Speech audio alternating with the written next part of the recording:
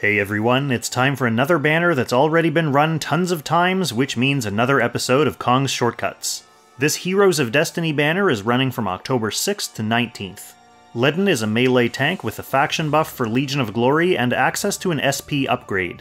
He unlocks the attack bonds for Chris, Grenier, and Narm.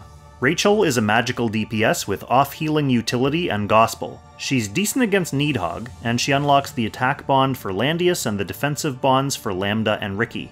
Altemuller is a bulky flying DPS with a faction buff for Strategic Masters and access to an SP upgrade.